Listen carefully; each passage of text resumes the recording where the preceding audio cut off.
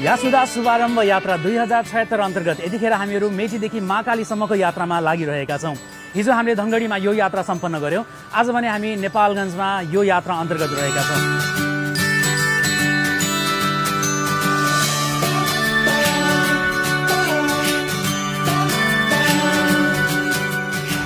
मेरो नाम विकास केसी।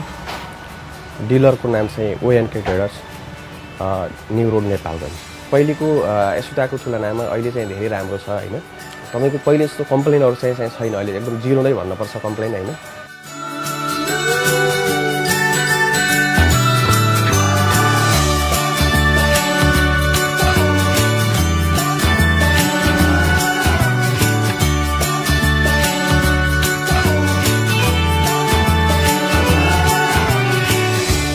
यशोदा कम्पनी राम्रो छ भन्ने हिसाबले यशोदाकै सामान लिउँ भनेर यशोदा सामान लिएको।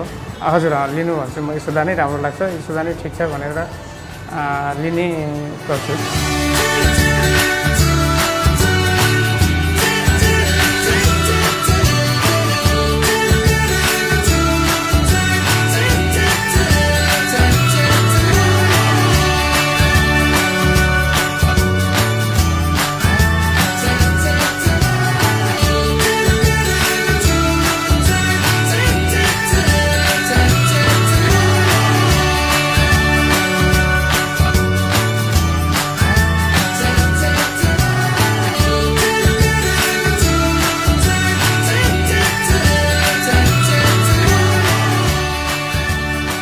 हामी नेपालगञ्जका विभिन्न ठाउँहरूमा विभिन्न घरहरूमा गयौँ जहाँ एक सय अस्सीवटा घरमा हामीहरू गएर एक सय अस्सीजना परिवारहरूलाई घरलाई हामीले एलइडी जुन बल्ब रहेको छ यासुदाको त्यो वितरण पनि गरेका छौँ। यो क्याम्पेन निकै निकै सफल पनि भएको छ र यहाँका जति पनि सर्वसाधारणहरू हुनुहुन्छ उहाँले निकै साथ पनि हामीलाई दिनुभएको छ। र हामीहरू यासुदा शुभारम्भ यात्रा दुई हजार छयत्तर अन्तर्गत भोलि जाँदैछौँ बुटोलमा। So Butwal get ready